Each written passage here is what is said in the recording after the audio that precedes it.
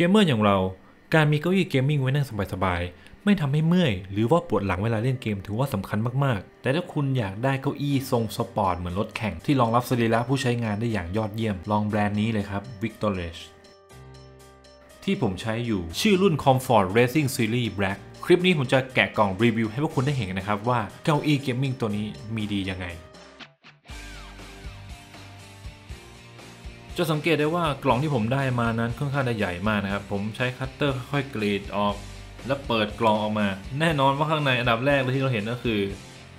คู่มือการประกอบและติดตั้งนะครับ ในนี้จะบอกหมดเลยว่า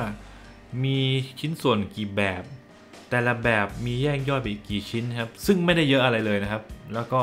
ในกล่องบอกอีกด้วยว่าวิธีประกอบนั้นประกอบยังไง บอกได้เลยว่าทำคนเดียวก็ได้ หรือไม่เคยทำก็ทำได้ และชิ้นต่อมาก็คือเบาะพิงหลังนั่นเอง อันนี้คือหมอนรองคอนะครับสำหรับการปวดคอ และหมอนรองหลังเอาไว้เติมเต็มช่องว่างระหว่างหลังและเบาะนะครับส่วนชิ้นนี้คือล้อ 5 แฉกทั้งทนทานปลอดภัยและลื่นไหล และชิ้นที่หนักที่สุดในกล่องนี้ครับ เบาะรองนั่งครับ หนักมาก มีกล่องเล็กๆ อยู่ตรงนี้ด้วยครับ มาดูด้านในกัน ก็จะเป็นฝาครอบด้านข้างเบาะนะครับ ชิ้นนี้เป็นประแจหกเหลี่ยมนะครับ มี 2 ขนาดที่เราได้เลือกใช้ เอาไว้สำหรับประกอบเก้าอี้ และนี่คือตัวล้อจาก Victor Edge ทำจาก PU ชนิดพิเศษทำให้ลื่นไหลในการเคลื่อนที่มากขึ้น และนี่คืออีกชิ้นที่ทำให้เราได้นั่งนุ่มสบาย Air Lift หรือ Choke Up นั่นเอง ส่วนนี้จะเป็นเมคานิกเอาไว้ต่อกับใต้เบาะรองนั่งมาประกอบกันเลยครับ และนี่คือล้อเลื่อนประกอบกับฐาน 5 แฉกนะครับล้อเลื่อนนี่ทำมาจาก PU ชนิดพิเศษนะครับ ลื่นไหลทนทานและปลอดภัยมาก ดูซะก่อนฮะ มั่นคงขนาดไหนหย่อนตัว Air Lift หรือโช้คอัพลงไปตรงนี้เบาๆนะครับ ไขน็อตบริเวณด้านข้างเบาะพิงหลังออกก่อนนะครับ จากนั้นนำไปประกอบกับเบาะรองนั่ง ประกบ side cover เข้าไปและขันน็อตให้แน่นที่สุด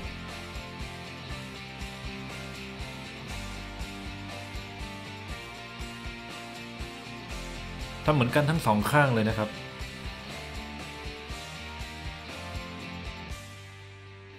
ใส่ก้านปรับระดับเข้ากับตัว mechanic ใต้เบาะ จากนั้นหงายเบาะขึ้นแล้วถอดน็อตออก แล้วประกบตัว mechanic เข้ากับใต้เบาะรองนั่งซะ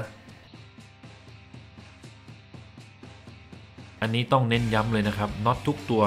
ขันให้แน่นที่สุดเท่าที่จะแน่นได้เพื่อความปลอดภัย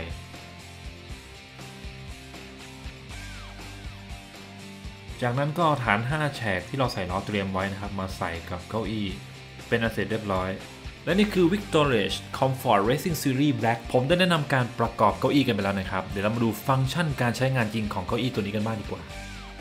นี่คือการออกแบบลวดลายที่สวยงามจากแบรนด์ Victorage นะครับ ตรงที่ผมสัมผัสอยู่นี่ไม่ใช่งานสกรีนหรือปั๊มมานะครับ นี่คืองานปักและงานเย็บตามตะเข็บตามขอบต่างๆ บอกเลยว่าดีมากๆครับ ตัวเบาะขึ้นรูปมาจาก memory foam ทั้งชิ้น มีความแข็งแรงและยืดหยุ่นสูงมาก หนัง PU ที่ใช้เป็นเกรดเดียวกันกับในอุตสาหกรรมรถยนต์ กันน้ำได้และไม่หลุดร่อนได้ง่าย มาดูการใช้งานกันบ้างนะครับ ดึงคันโยกด้านขวามือนะครับ แล้วก็พิงหลังลงไปนะครับ เป็นการเอนหลัง ดึงอีกครั้งนะครับ แล้วก็โน้มตัวมาข้างหน้าก็เป็นการดึงกลับเข้าที่เดิมนะครับ บิดคันโยกปรับระดับด้านล่างขวามือขึ้นนะครับ จะเป็นการปรับระดับสูงต่ำนะครับ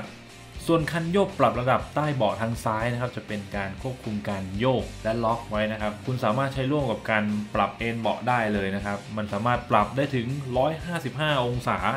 แล้วก็คุณก็โยกไปเลยครับ ไม่หงายท้องแน่นอน สบายใจได้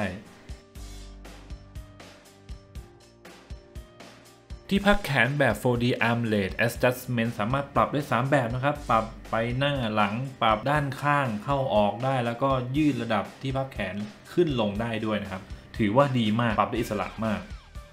ที่สำคัญอย่าลืมใช้หมอนรองคอด้วยนะครับ เพื่อความสบายและอย่าลืมใช้หมอนรองหลังเช่นกัน เพื่อความนุ่มสบายที่แผ่นหลังของคุณ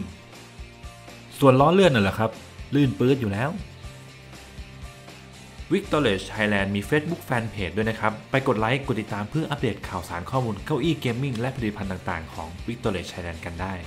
รีวิวมาขนาดนี้แต่ถ้าไม่ยอมชี้เป้าแหล่งซื้อเนี่ยก็ยังไงอยู่นะครับ ชื่อร้าน Decorate Village อยู่ใน Shopee นะครับ เดี๋ยวผมจะใส่ลิงก์ไว้ที่ description ด้านล่างด้วยนะครับ ใครซื้อช่วงนี้นำโค้ดที่ขึ้นบนหน้าจอนี่ไปใส่ด้วยครับ ได้ส่วนลดด้วย อันนี้แถมนะครับใครอยากจะซื้อเหมือนผมเด๊ะๆเลยก็ต้องซื้อรุ่น Comfort นะ นั่งสบายครับผมนั่ง 80 กว่าอย่างนั่งชิวๆเลยครับไม่ปวดเมื่อย แต่ถ้าใครแบบอาจจะตัวเล็กลงมาหน่อย ผมแนะนำรุ่นสปอร์ตนะ อันนี้จะคล้ายๆเบาะเหมือนรถแข่งเลยนะครับแล้วก็ออกแบบมาเท่มาก ถ้าต้องการแบบหรูหรานะครับผมแนะนำเป็นตัว Elegant จะมีรุ่นที่เป็นลาย Kevlar carbon ด้วย นั่งสบายไม่แพ้ตัว Comfort เลยถ้าคุณคิดจะซื้อเก้าอี้เกมมิ่งระดับพรีเมียมแล้วก็ผมแนะนำเลยครับ เก้าอี้เกมมิ่งจาก Victorage Thailand